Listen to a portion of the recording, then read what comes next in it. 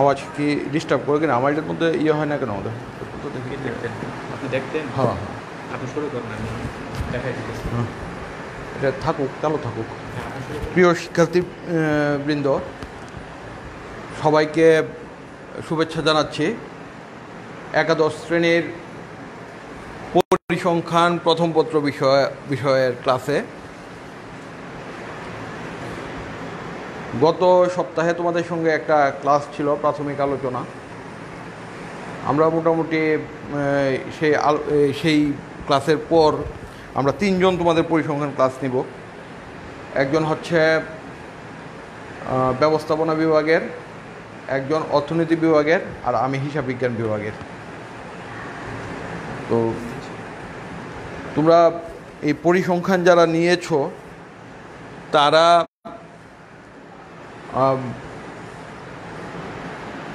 আমাদের সাথে আমরা তোমাদের একটা সঠিক তথ্য আমাদের দরকার, বিশেষ করে আমার বেশি দরকার। যে তথ্যটা পেলে তোমাদের সঙ্গে আমার কাজ করতে সুবিধা হবে। সুবিধা হবে এই জন্য যে এখানে কিছু হাতে কলমে কাজ আছে ব্যবহারিক আছে, সেইগুলোর জন্য তোমাদের সঙ্গে নিয়মিত যোগাযোগ রক্ষা করা প্রয়োজন। তো তোমরা আমাদের সঙ্গে যোগাযোগ রক্ষা করবা। আমরাও যাতে তোমাদেরকে প্রয়োজনে খুঁজে পাই, সেই চেষ্টা করতে হবে। সেই চেষ্টা করতে হবে। যদি খুঁজে না পাওয়া যায়, তাহলে আসলে ইয়ে একটা বিশৃঙ্খল অবস্থার সৃষ্টি হবে। আমি দেখছি যে আমার তো তোমরা আমার এখানে এই যে আমার ভাগে যে অধ্যায়টা পড়েছে, সেটা হচ্ছে কেন্দ্রীয় প্রবণতা। কেন্দ্রীয় প্রবণতা তোমরা এগুলা কিছুটা এসএসসিতে করে এসেছ। গড় নির্ণয় মধ্যমা নির্ণয় প্রচুরক নির্ণয়, এগুলো করে এসেছ। তো আমরা এগুলো একটু চেষ্টা করব যাতে ভালোভাবে শিখতে পারি। এগুলা খুব সহজ খুব সহজ যে তোমরা এগুলা ধারণা আছে। আর আমরা এখানেও শেখানোর চেষ্টা করব।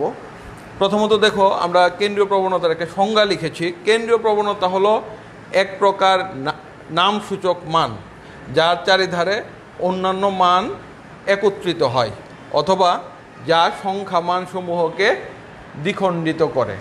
আসলে এগুলা বই পুস্তকের সংজ্ঞা, এগুলা তুমি মুখস্থ না করলে উপায় নেই। খাতায় লিখতে হবে এইভাবেই, কিন্তু আমরা একটু বোঝার চেষ্টা করব, আসলে কেন্দ্রীয় পরিমা কি?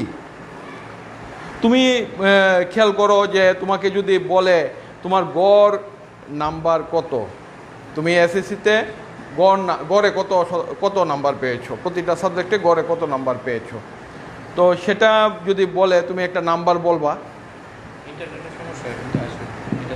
এটা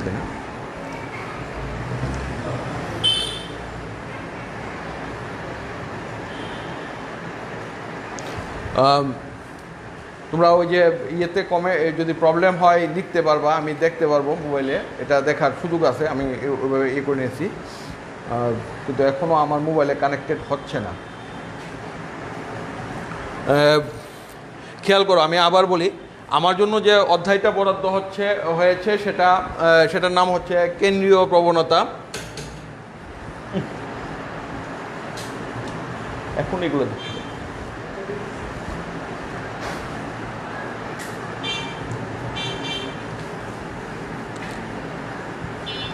এটাও বন্ধ করো।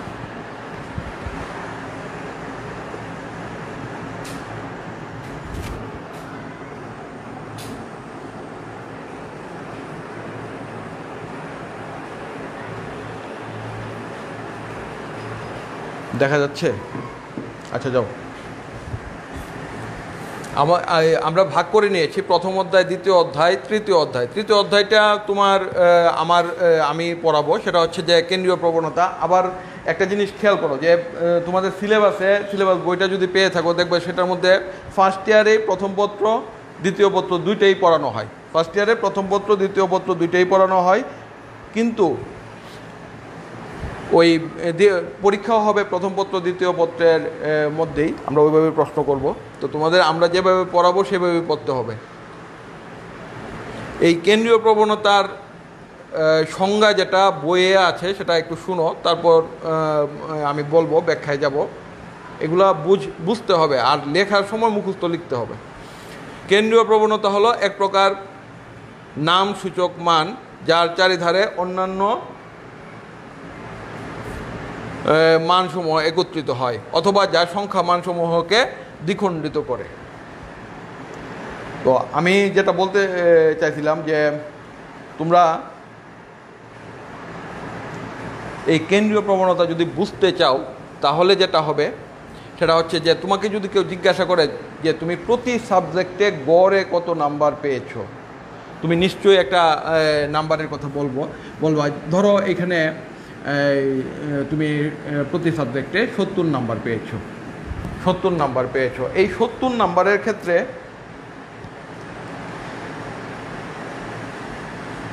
এই সত্তর নাম্বার যদি বলি, দশটা সাবজেক্ট আছে তোমার। এই বাকি দশটা সাবজেক্টের যে নাম্বারগুলা, কোনোটাতে হয়তো আশি পেয়েছ, কোনোটাতে পঁচাশি পেয়েছ, কোনোটাতে পঁয়ষট্টি পেয়েছ, অর্থাৎ এই যে নাম্বারগুলা, এই নাম্বারগুলা সত্তরের আশেপাশে আছে। এই নাম্বারগুলো সত্তরের আশেপাশে আছে। আমি আবারও বলি, তুমি, তোমাকে কেউ জিজ্ঞাসা করল যে তুমি গড়ে প্রতি সাবজেক্টে কত নাম্বার পেয়েছ? তুমি বল- বললে যে আমি সত্তর নাম্বার পেয়েছি গড়ে। তো তার মানে হচ্ছে তুমি যে বাকি সাবজেক্টগুলা এই সাবজেক্টগুলার নাম্বার এই সত্তরের আশেপাশে আছে। এই যে সত্তর, এইটা হচ্ছে একটা কেন্দ্রীয় মান, যার আশেপাশে বাকি নাম্বারগুলা থাকে। তো এই মানটাকেই বলা হয় এই যে থাকার যে প্রবণতা, এই মধ্যক মানের আশেপাশে যে থাকার যে প্রবণতা, ইচ্ছা, আগ্রহ, সেটাই হচ্ছে তোমার কেন্দ্রীয় প্রবণতা। তোমাকে যদি কেউ জিজ্ঞাসা করে, তোমার ক্লাসে তোমরা তিনশো জন ছাত্রছাত্রী ভর্তি হয়েছ, তোমাদেরকে কেউ যদি জিজ্ঞাসা করে যে তোমার গড় বয়স, তোমাদের ক্লাসের গড় বয়স কত? অর্থাৎ তোমরা যারা ভর্তি হয়েছ, এই গড় মানটার আশেপাশে প্রত্যেকের বয়স আছে। অর্থাৎ একটা মানকে কেন্দ্র করে বাকি মানগুলা তার চারধারে জড়ো হয়। এই জড়ো হওয়ার যে প্রবণতা, সেটাই হচ্ছে কেন্দ্রীয় প্রবণতা। আমরা যেটা শিখব, সেটা হচ্ছে কেন্দ্রীয় প্রবণতার পরিমাপসমূহ শেখার চেষ্টা করব।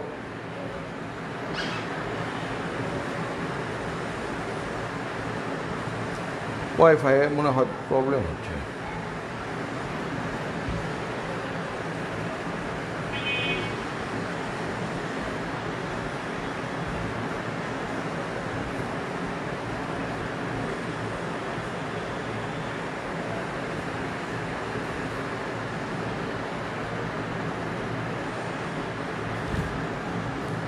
দেখো এই কোন কেন্দ্রীয় প্রবণতা পরিমাপের অনেকগুলা পদ্ধতি আছে। আমরা এগুলা লিখব একটু।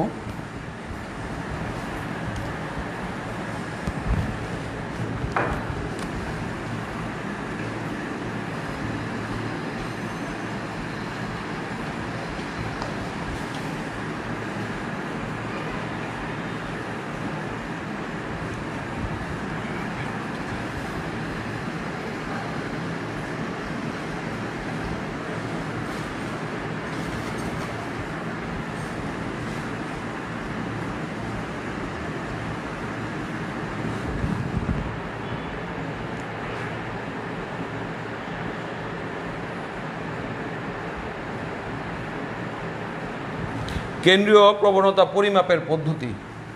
এই পদ্ধতিগুলোর মধ্যে যেমন আছে ধরো, এক নম্বরে হচ্ছে গড়। এই গড় আবার তোমার তিন ধরনের হয়। যেমন গাণিতিক গড়,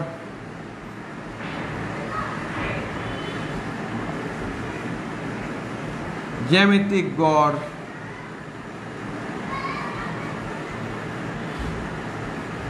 জ্যামিতিক গড় আরেকটা হচ্ছে তরঙ্গ গড়।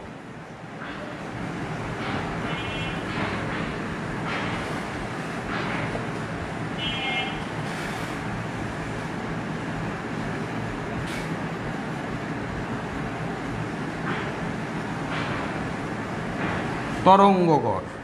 যে গাণিতিক গড়, জ্যামিতিক গড়, তরঙ্গ গড়। আমরা গড় নিয়ে আজকে কথা বলব। এই গড় মানে কি? গড় হচ্ছে, আসলে গড় বলতে আমরা বুঝি গাণিতিক গড়। কতগুলা মানকে কতগুলা মানের যোগফলকে ওই মানের সংখ্যা দ্বারা যদি ভাগ করো, তাহলে গাণিতিক গড় পাওয়া যায়। এটা সূত্রটা যেমন ধরো, একটা একটা করে বলি।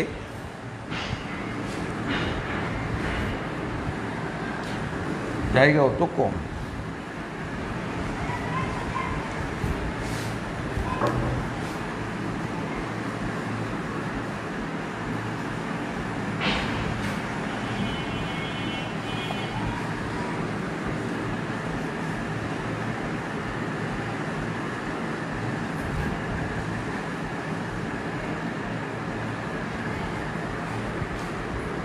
আমরা সাধারণত গড় বলতে গাণিতিক গড়কেই বুঝি? গাণিতিক গড়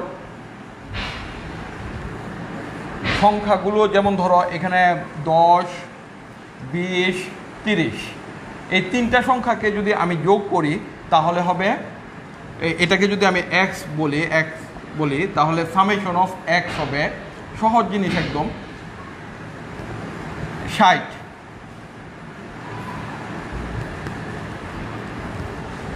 সামেশন অফ এক্স ষাট হবে।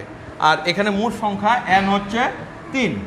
অর্থাৎ তুমি যদি এই যে summation of x divided by n করো, এই গাণিতিক গড়কে ডিনোট ডিনোট করা হয়, নির্দেশ করা হয় এক্স বা দিয়ে, চিহ্নটাকে বলা হয় বার তাহলে ষাট ডিভাইডেড বাই তিন সমান সমান বিশ। গাণিতিক গড় হলো বিশ।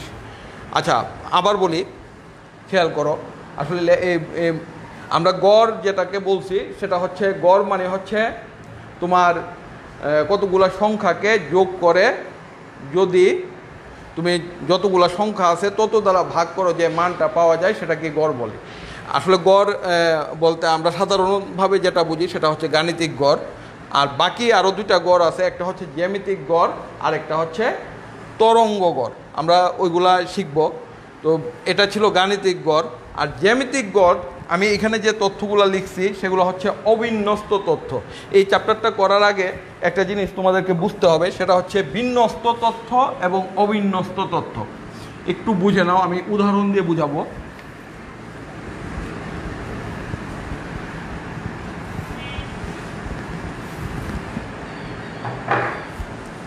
উদাহরণ দিয়ে বোঝাবো, যেমন ধরো বিন্যস্ত আমি এখানে লিখলাম একটা তথ্য, উপাত্ত লিখলাম, যে এখানে বিশ তিরিশ দশ, বিশ, এই যে মানগুলা, এগুলা কিন্তু তোমার অবিন্যস্ত। আবার আমি যদি এরকমভাবে লিখি যে ওই যে গণসংখ্যার সারণী তৈরি করে, যেমন এখানে তোমার শ্রেণি লিখলাম,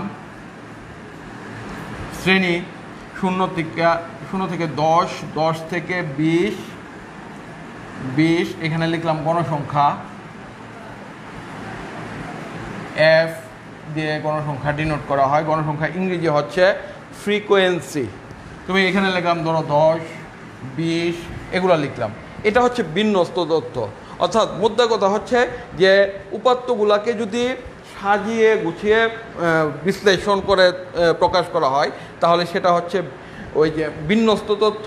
আর অবিন্যস্ত তথ্য হচ্ছে র ডাটা যেটা থাকে সেটা। তো আমরা এখানে গড় নির্ণয় বলো, মধ্যমা নির্ণয় বলো, প্রচুরক নির্ণয় বলো, প্রত্যেকটা ক্ষেত্রেই সূত্র দুইটা হয়। একটা হচ্ছে বিন্যস্ত তথ্যের ক্ষেত্রে প্রযোজ্য, আরেকটা হচ্ছে অবিন্যস্ত তথ্যের ক্ষেত্রে প্রযোজ্য। আমরা প্রথমে অবিন্যস্ত তথ্য, অর্থাৎ এরকমভাবে যদি বিশৃঙ্খল বা এলুমুলিভাবে তথ্যগুলো দেওয়া থাকে, সেই তথ্যগুলার গড় গড় নির্ণয়টা শিখব, অর্থাৎ গাণিতিক গড়, জ্যামিতিক গড় এবং ওই যে তরঙ্গ গড়।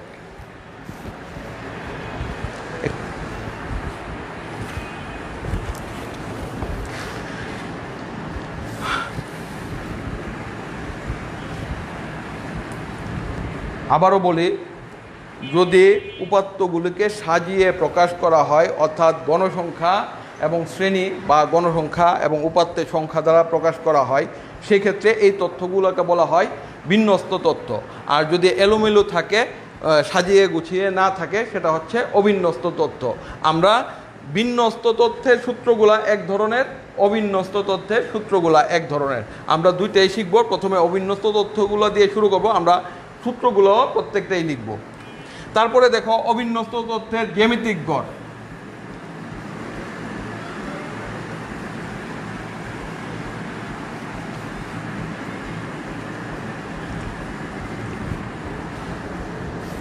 অবিন্যস্ত তথ্যের জ্যামিতিক গড়। যেমন ধরো, আমি এখানে লিখি একটা জিনিস, x one into x two into x three into dot dot x n. এটাকে বলা হয় জিওমেট্রিক মিন জিএম সংক্ষেপে জিএম লেখা হয় geometric mean one by n দেখো, সূত্রটা যদি সংজ্ঞা বলে, সংজ্ঞা কিন্তু মুখস্থ করতে হবে, কিন্তু মুখস্থ না করেও বলা যায়। মুখস্থ না করেও বলা যায়।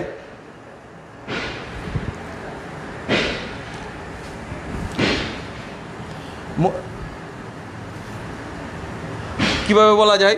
যেমন, কতগুলো মানের গুণফলের, কতগুলো মানের গুণফলের তততম বর্গমূলকে কতগুলো মানের গুণফলের তততম বর্গমূলকে জ্যামিতিক গড় বলা হয়?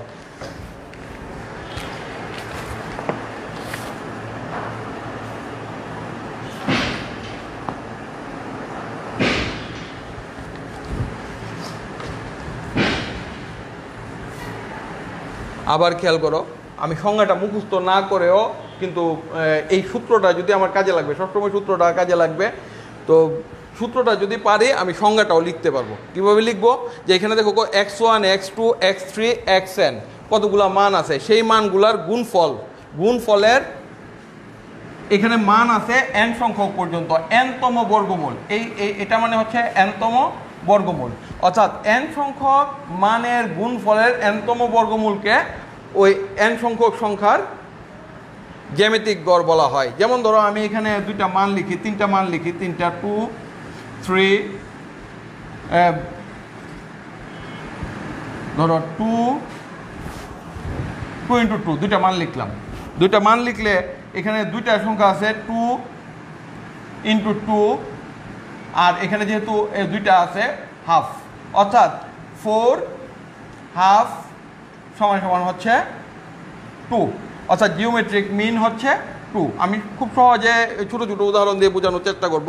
প্রথমত হচ্ছে যে সংখ্যাটা কী দাঁড়াল তাহলে? কতগুলো এন সংখ্যক মানের গুণ ফলের এনতম বর্গমূলকে এন সংখ্যক সংখ্যার গুণফলের এনতম বর্গমূলকে বলা হয় ওই এন সংখ্যক সংখ্যার জ্যামিতিক গড়। এখন দেখো এখানে দুইটা সংখ্যা আছে টু এবং টু আমি দুইটা লিখলাম। টু এবং টু লিখলাম, লিখে এখানে দুইটাকে গুণ করলাম, আবার এখানে সংখ্যা আছে দুইটা, দুই এর বর্গমূল দুইয়ের সাপেক্ষে বর্গমূল করার ক্ষেত্রে আমার জিওমেট্রিক মিন আসছে টু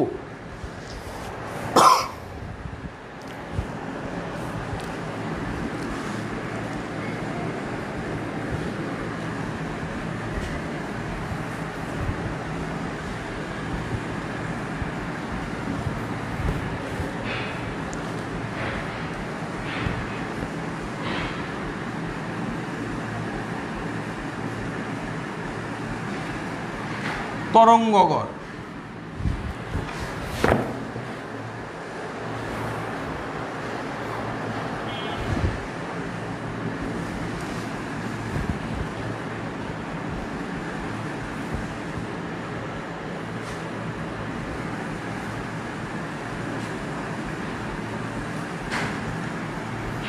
ইংরেজিগুলো একটু শিখে নিও। হারমোনিক মিন হারমোনিক মিন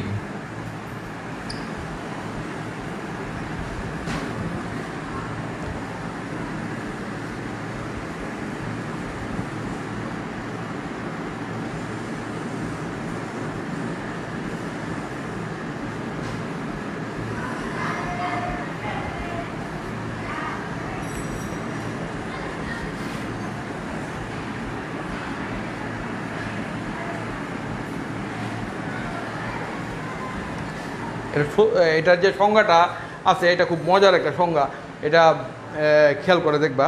আমি বলি, সংজ্ঞাটা মুখস্থ না করলে হয়তো বা তোমাদের জন্য সমস্যা হবে, কিন্তু মুখস্থ করার এক ইয়েটাও আমি দেখাবো। দেখো, হারমোনিক মিন বলতে আমরা বুঝি, যদি আমি একদম তুতা পাখির মতো বলি, দেখো, যে কতগুলা মানের উল্টা মানের গাণিতিক গড়ের উল্টা মানকে তরঙ্গগড় বলা হয়। আমি আবার বলি কতগুলা মানের উল্টা মানের গাণিতিক গড়? গাণিতিক গড়ের উল্টা মানকে তরঙ্গ গড় বলা হয়। দেখো, আমি ওই যে এখানে এক্স একটু খেয়াল করো। এক্স ওয়ান এক্স টু, এই এক্স এন হচ্ছে মানগুলা। যে মানগুলা দেওয়া আছে সেগুলোর মান। আমি যদি যে গাণিতিক গড় নির্ণয় করতাম, তাহলে দেখো এটা দাঁড়াতো এরকম। Of x n divided by n বা summation of x by n এটা দাঁড়াতো এখন দেখো, এই মানগুলার ক্ষেত্রে, এই মানগুলার উল্টাও। আমি সংজ্ঞাটা কি বলছি? কতগুলা মানের উল্টা মানের গাণিতিক গড়? উল্টা মানের গাণিতিক গড়ের উল্টা মানকে তরঙ্গ গড় বলা হয়। এই যে মানগুলাকে যদি আমি উল্টাইতে হয়, তাহলে এক্সের উল্টা মানটা কি? One by x one x টুর উল্টা মানটা কি? ওয়ান বাই এক্স টু এভাবে যদি যাও, তাহলে এক্স এন এর উল্টা মানটা হচ্ছে ওয়ান বাই এক্স এন এই সবগুলাকে যোগ করে যদি এন দিয়ে ভাগ করি, তাহলে যেটা দাঁড়াবে সেটা হচ্ছে উল্টা মানের গাণিতিক গড়। উল্টা মানের গাণিতিক গড় এবং সেটাকে যখন আবার ওয়ান ডিভাইডেড বাই করবা, তখন ওই গাণিতিক গড়ের উল্টা মানটা পাওয়া যায়। অর্থাৎ কতগুলো মানের গাণিতিক গড়ে সরি কতগুলো মানের উল্টা মানের গাণিতিক গড়ের উল্টা মানকে তরঙ্গ গড় বলা হয়। আমি জানি না তোমাদেরকে ফেস টু ফেস কমিউনিকেশন হলে বুঝা মানে জিজ্ঞাসা করতে পারতাম যে কতটুকু বুঝতে পারছ। এখন মোবাইলেও খুব একটা, আমি জানি না নেটওয়ার্ক কি সমস্যা করতেছে কি না আমি চেষ্টা করতেছি যে দেখার জন্য, কিন্তু দেখতেও পারতেছি না। লাইভ হচ্ছে না। তোমরা কয়জন আসছো? আমার মোবাইলে আমি নেটওয়ার্কই পাচ্ছি না।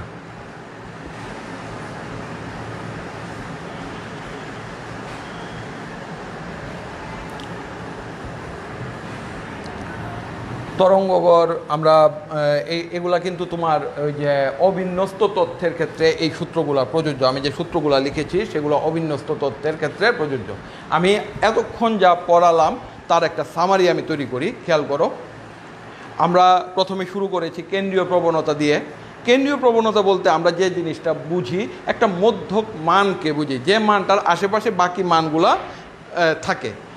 এটা বুঝাতে গিয়ে আমি যে জিনিসটা বলেছি, সেটা হচ্ছে যে তোমার গড় বয়স, তোমার ক্লাসের ছাত্রছাত্রীদের গড় বয়স, যদি একটা মান বলো, তোমরা দেখবা যে সবার বয়সটা এর আশেপাশে আছে, কারও এক বছর বেশি, কারও এক বছর কম। এই যে আশেপাশে থাকার প্রবণতা, এক, প্রবণতাটা, একটা মানের আশেপাশে সব বাকি মানগুলা থাকার প্রবণতাটা, সেটাই হচ্ছে তোমার কেন্দ্রীয় প্রবণতা। আমি কতটুকু বোঝাতে পেরেছি আমি কনফার্ম না। তারপরে এই কেন্দ্রীয় প্রবণতার পরিমাপের কতগুলো পদ্ধতির কথা বলছি, যেমন বলছি গড়, তারপরে বলছি মধ্যমা প্রচুরক, গড়, মধ্যমা প্রচুরক, তারপরে ওই যে আরও আছে তোমার কিছু আছে বলব এই গড়কে আবার কয়েক ভাগে ভাগ করা যায়, তিন ভাগে, যেমন বলছি যে গাণিতিক গড়, জ্যামিতিক গড়, তরঙ্গ গড়? তো এখানে আমরা প্রথমে আজকে যেটা বলছি যে গড়, গড়ের এই- এই জিনিসগুলো নির্ণয় করার জন্য দুই ধরনের তথ্য তোমার প্রশ্নে দেওয়া থাকতে পারে। একটা হচ্ছে যে বিন্যস্ত তথ্য, আরেকটা হচ্ছে অবিন্যস্ত তথ্য। সূত্রগুলা দুই ধরনেরই হয়, বিন্যস্ত এবং অবিন্যস্ত এইভাবে ভাগ করে দেখানো হয়েছে। তো আমরা অবিন্যস্ত বলতে বুঝব সহজ ভাষায়। এটা যদি বই পুস্তকের ভাষা থেকে যাও তাহলে বুঝতে অসুবিধা হবে। আমি তোমাকে বুঝাইতে চেষ্টা করি যে যদি দেখো যে ওই গণসংখ্যা নির্ণয় করে দেওয়া আছে, তারপরে তোমার সাজানো গোছানো আছে, সেটা হচ্ছে বিন্যস্ত। বিন্যস্ত মানে কি? সাজানো। আর অবিন্যস্ত মানে হচ্ছে এলোমেলো। তো আমরা এখন প্রথমে যে জিনিসগুলো দিয়ে বোঝানোর চেষ্টা করেছি, সেটা হচ্ছে তোমার অবিন্যস্ত তত্ত্ব। অবিন্যস্ত তথ্যের গাণিতিক গড়ে সূত্রটা লিখেছি, আমি আবার লিখি একটু বোঝানোর চেষ্টা করি। একটু সূত্রগুলো লিখব খালি, খেয়াল করো।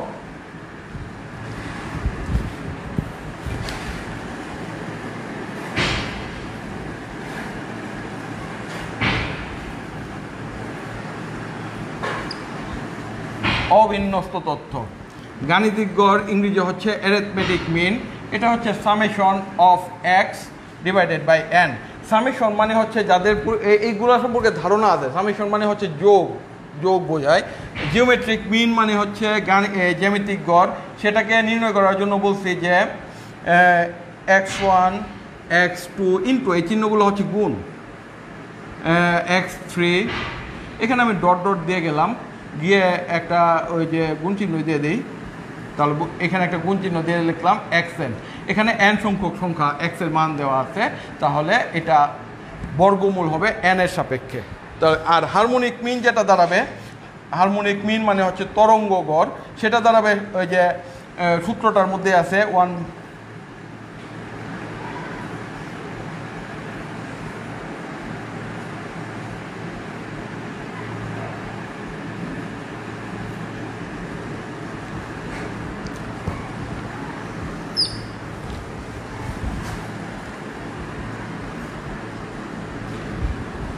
অবিন্যস্ত তথ্যের ক্ষেত্রে গড় নির্ণয়ের কথাগুলো আমি বললাম, খেয়াল করো। এই বোর- বোর্ডের ওই অংশটা আমরা কাজে লাগাতে পারছি বলে মনে হয় না।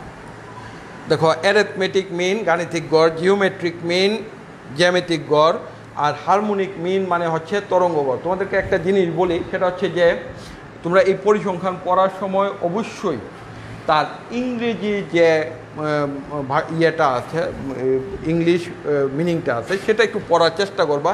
কারণ অনার্সে গিয়ে যখন পরিসংখ্যান বাধ্যতামূলকভাবে পড়তে হবে, এবং সেটা হবে ইংরেজিতে, তো এখন বাংলাটার সাথে সাথে যদি ইংরেজিটা একটু দেখে রাখো, তাহলে ওই অনার্সে পড়ার সময় সেটা কাজে লাগবে। তুমি যে বিষয়েই অনার্স পড়ো না কেন ব্যবসা শিক্ষা শাখা হিসেবে তুমি এই- অনার্সেই পড়তে হবে। তো যে বিষয়ে পড়ো সেখানেই তোমাকে পরিসংখ্যান পড়তে হবে এবং এই পরিসংখ্যানটা তোমাকে পড়তে হবে ইন ইংলিশ বাংলা বোধহয় নাই। ব্যবসা শিক্ষা শাখাগুলোতে তো বাংলাতে পড়াই না, এটা ম্যান্ডেটরি হিসেবে। এবং জাতীয় বিশ্ববিদ্যালয়ে তোমার যে কয়টা সাবজেক্ট বাধ্যতামূলকভাবে ইংরেজিতে পড়ানোর কথা বলা হয়ে থাকে বা আনসার করার কথা বলা হয়ে থাকে, সেটার মধ্যে পরিসংখ্যান একটা।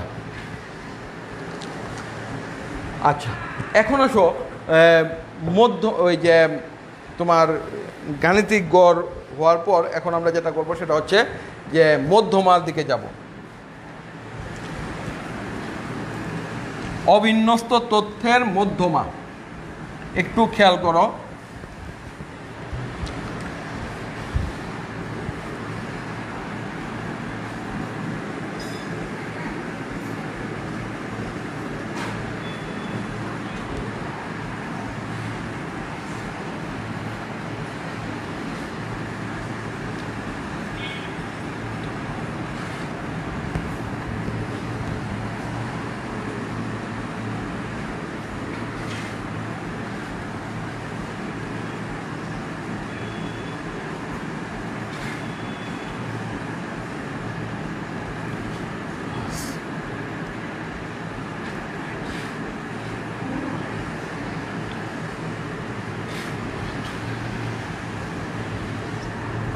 আমি দুইটা সূত্র লিখছি দেখো। অবিন্যস্ত তথ্যের মধ্যমা। মধ্যমা।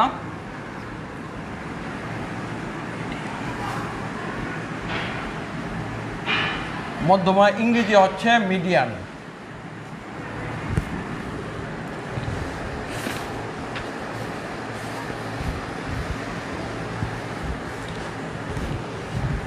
একটু খেয়াল করো, একটু একটু মনোযোগ দাও তাহলেই বুঝতে পারবা।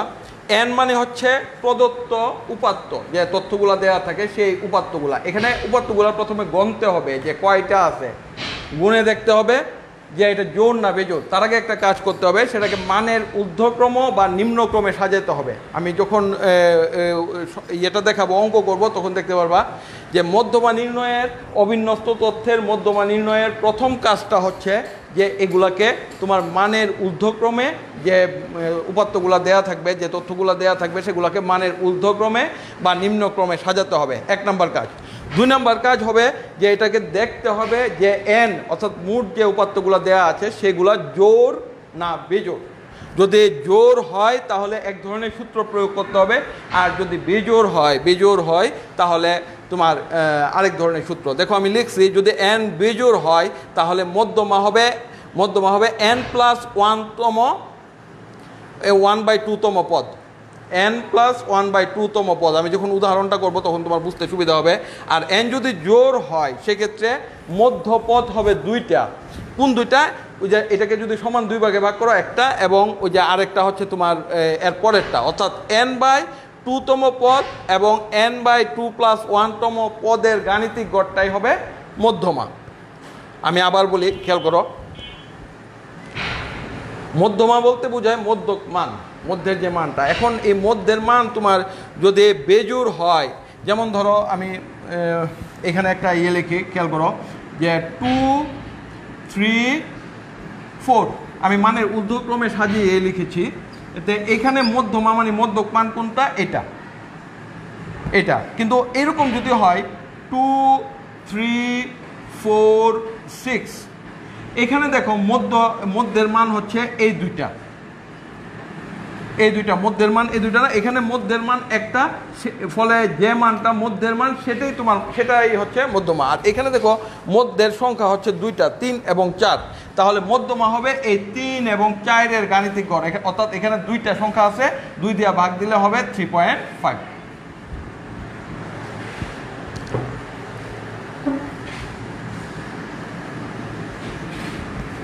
খেয়াল করো মিডিয়ান বা মধ্যমা বলতে যেটা বোঝায় সেটা হচ্ছে তোমার এই যে আহ, মধ্যক মান যেটা সেটাকে বোঝায় এখন মধ্যক মান আহ, তোমার কীভাবে নির্ণয় করা যায়? যদি এন প্রদত্ত উপাত্তগুলা বেজুর হয় তাহলে মধ্যের সংখ্যা থাকে একটা। দুই ভাগে ভাগ করলে সমান দুই ভাগে ভাগ করলে একটা হয়। যেমন দেখো এখানে তিনটা এক দুই তিন। তিনটার মধ্যে পড়ছে কোনটা? এই এই সংখ্যাটা হচ্ছে মধ্যে পড়ছে।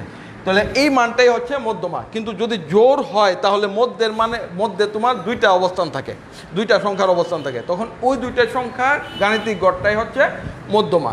আমি এই লিখেছি সূত্রটা। প্রথমে কি কাজ করতে হবে? যে এইগুলাকে মানের ঊর্ধ্বক্রমে বা নিম্নক্রমে সাজাতে হবে। প্রথমে মানের মধ্যমা নির্ণয়ের পদ্ধতিটা আবার বলে একটু খেয়াল করো।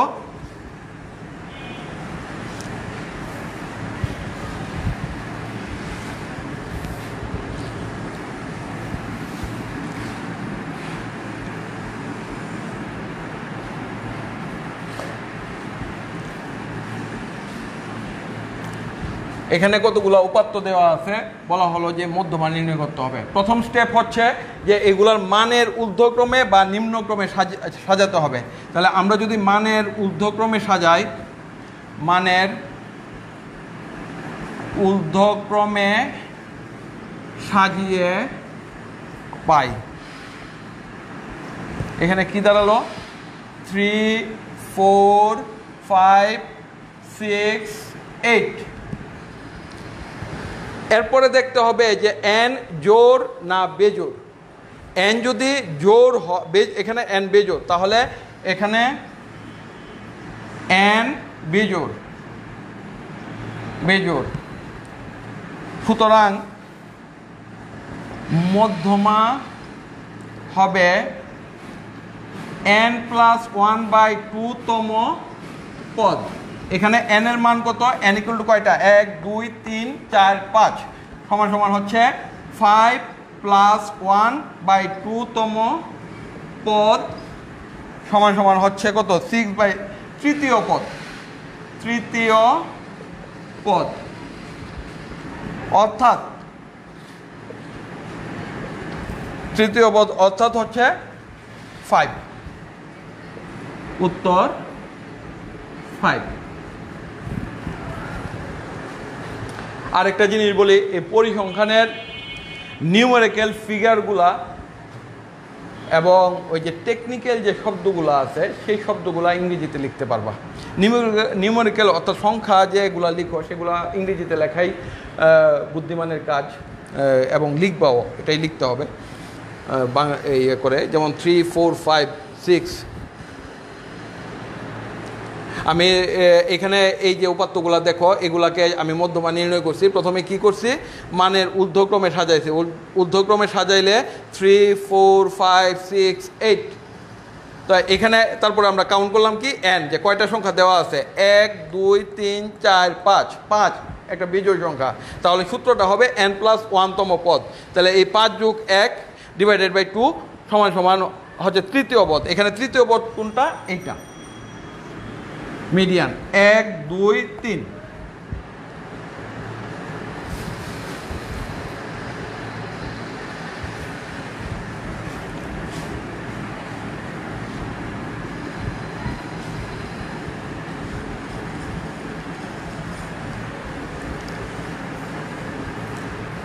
এখন এখানে যদি ধরো আরেকটা হতো, ধরো এখানে আরেকটা সংখ্যা দেওয়া আছে টেন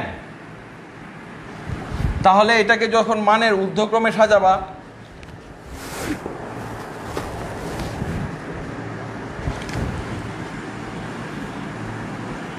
মানের ঊর্ধ্বক্রমে সাজা, সাজিয়ে পাই। আমার মনে হয় যে ওই যে লাইটিংয়ের কারণে লেখাগুলো একটু স্পষ্ট কম হয়। তাহলে দেখো এখানে দাঁড়াল কি?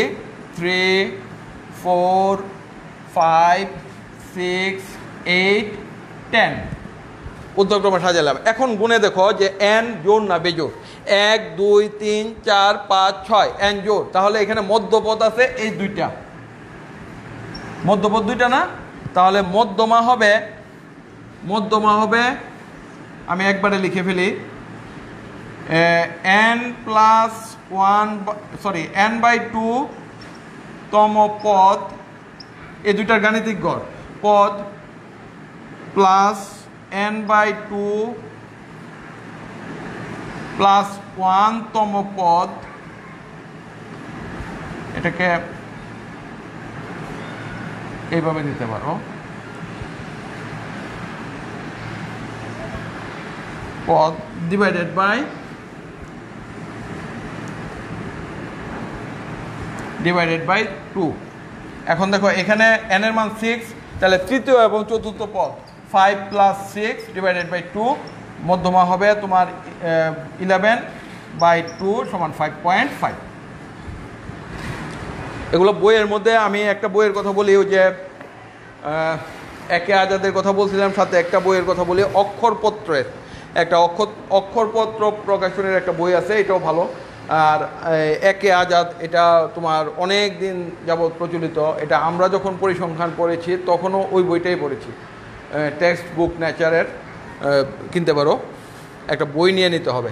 আর একটা জিনিস তোমাদেরকে বলি তোমরা যারা পরিসংখ্যান নিয়েছো পরিসংখ্যান যারা নিয়েছো, তারা অবশ্যই কলেজের সঙ্গে যোগাযোগ রাখবা। কারণ আমি বলি, এখানে কিছু ব্যবহারিক কাজ আছে। তা তারপরে কিছু হাতে কলমে কিছু কাজ করা থাকে সেগুলা করতে হয়। যেমন গ্রাফগুলা তৈরি করা শেখানোটা, এটা হাতে কলমে এখানে কীভাবে করাবো কলেজ না করলে হয়তো গ্রাফগুলা করানোটা ডিফিকাল্ট হয়ে যাবে। গ্রাফগুলা, ওই যে, গ্রাফগুলা আঁকা, শেখানো, এগুলা তোমাদেরকে করাতে হবে। তো আমরা চেষ্টা করব কলেজ খুললে ওই এটা করানোর জন্য। আর অনলাইনের ক্লাসগুলা যেহেতু রেকর্ডিং থাকে, তোমরা যে জিনিসগুলা না বুঝো, সেগুলা পরে স্যারদের সঙ্গে যোগাযোগ করতে পারো। অথবা ওই এখানে মেসেজেও দিতে পারো। মেসেজ দিলে পরে ক্লাসে এগুলা হয়তো আলোচনা করা হবে যে, স্যার, এই প্রবলেমগুলো এই প্রবলেমগুলো তারপরে তারপর এদিকে যাই। আমরা আজকে আর এগোবো না। যতটুকু করছি সেগুলারই একটা সামারি টানবো।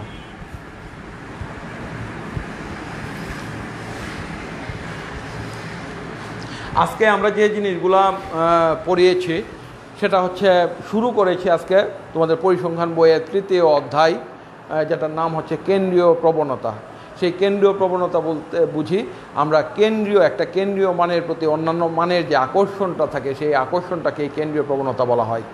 আমি যদি উদাহরণ দিয়ে বলি, তাহলে যেমন তোমার গড় নাম্বার একটা গড় যদি নির্ণয় করো, তাহলে সেই গড়ের, গড় মানে হচ্ছে এখানে একাধিক সংখ্যা আছে তা থেকে তুমি গড় নির্ণয় করছ। সেই সংখ্যাটার প্রতি অন্যান্য মানগুলা যে আশেপাশে থাকার যে ইচ্ছাটা, সেটাই হচ্ছে কেন্দ্রীয় প্রবণতা।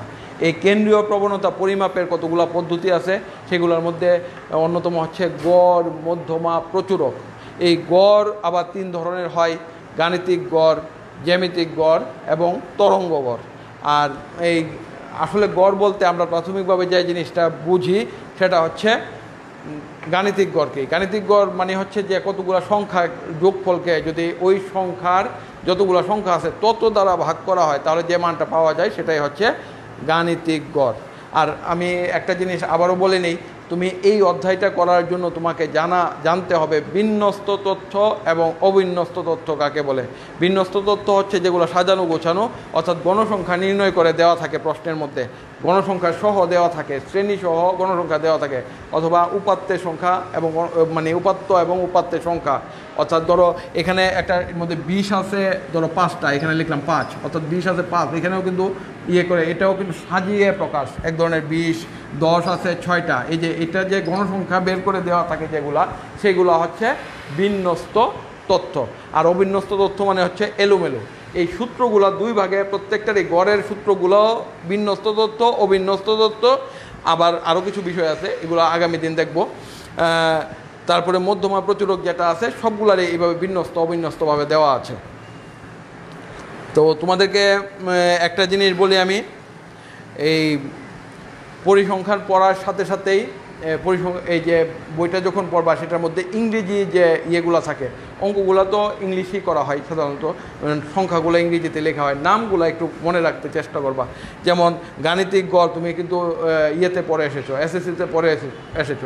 আমি যা, অনেকেই জানো হয়তো, এটাকে ইংরেজিতে বলা হয় অ্যারেথমেটিক মিন জ্যামিতিক গড় নাম শুনেছো, সেটা হচ্ছে জিওমেট্রিক মিন তারপরে হচ্ছে প্রচুরক প্রচুরক মানে হচ্ছে মুড। মুড মানে হচ্ছে প্রচুরক। গড়, মধ্যমা, প্রচুরক। আর এখন যেটা আছে, আমি যদি প্রচুরকটা বলি, প্রচুরকটা একটু বলে নিই প্রচুরক মানে মানে কি? অবিন্যস্ত তত্ত্বের প্রচুরক হলো যে সংখ্যাটা বেশি আছে, সেটাই। প্রচুরক মানে হচ্ছে প্রচুর, বেশি যেটা আছে। যেমন আমি এখানে ধরো এখানে দশ দশ, বিশ, পাঁচ। এখানে এই অবিন্যস্ত তথ্যভাবে দেওয়া আছে। এখানে প্রচুরক হলো দশ। দশ। ইংরেজিতে এটাকে বলা হয় মোট। তাহলে আজকে আমরা মোটামুটি গড়, মধ্যমা, প্রচুরক এই জিনিসগুলা একটু অবিন্যস্ত তথ্যের ক্ষেত্রে জানলাম। তোমরা এগুলা শিখে নিবা ক্লাসগুলো দেখবা। আরও ভালোভাবে আমরা ক্লাসগুলো করার চেষ্টা করব। এখন লাইটিংয়ের একটা প্রবলেম থাকে। আমি জানি না সাউন্ডটা কীরকম হয়েছে, আমি কিন্তু পাই নাই। এটা রেকর্ডিং কি হয়েছে, আমি তাও পরে দেখলে হয়তো বুঝতে পারব। তো তোমাদের সবাইকে আবারও ধন্যবাদ জানাচ্ছি এই পরিসংখ্যান নেওয়ার জন্য। কারণ ব্যবসা শিক্ষা শাখার যে ছাত্রছাত্রীরা আছে, তাদের জন্য পরিসংখ্যান অত্যাবশ্যক। আমার মতে পরিসংখ্যান অত্যাবশ্যক। তো এবং ভালো রেজাল্ট করার ক্ষেত্রে এটা বেশ ভূমিকা রাখে। ভালো রেজাল্ট মানে হচ্ছে যে তুমি এই কলেজের ইতিহাস যদি আমি পর্যালোচনা করি, তাহলে আমি তোমাকে ডেফিনেটলি বলতে পারি যে এ প্লাস যারা পেয়েছে, তাদের বেশিরভাগেরই পরিসংখ্যান ছিল। যারা ঢাকা বিশ্ববিদ্যালয়ে চান্স পেয়েছে, তাদের বেশিরভাগই পরিসংখ্যান ছিল। এই তথ্য আমি তোমাদেরকে দিতে পারি। তো সবাইকে ধন্যবাদ। আজকে এই পর্যন্তই। আল্লাহ হাফিজ।